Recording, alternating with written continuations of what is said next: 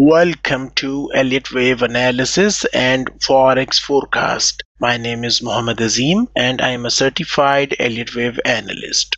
This video is brought to you by ReadyForex.com. Risk disclaimer Today is Tuesday, October 18th, 2022. I am going to analyze Euro USD currency pair. Let us start the top to bottom Elliott wave analysis. Inside daily time frame, the trend is down in Euro USD. You can see a nice bearish trend channel. Daily time frame resistance is present at 1.0197 price level. In my opinion, price action in Euro USD has created a short-term bottom and market is most likely going to rise up first and then drop again to print last bearish 5 leg. A decisive bullish breakout above 1.0197 resistance area is going to end downtrend in daily chart of euro dollar currency pair. Next, let us take a look at 4 hour chart price manages to breaks below most recent swing low to me euro usd pair looks sideways in 4 hour time frame next let us take a look at 1 hour chart. The trend is up in 1 hour chart. Intraday support is present at 0.9630 price level. Based on 1 hour bullish trend channel i expect bullish corrective wave c to move up which offers a chance to join an uptrend in euro dollar currency pair. A decisive bearish break below 0.9630 support level is going to end up trend in one hour chart of euro versus us dollar pair. To be more specific the green color highlighted area offers a buying opportunity which is the previous fourth wave of one lesser degree. Take note you must always trade with money management rules to control risk.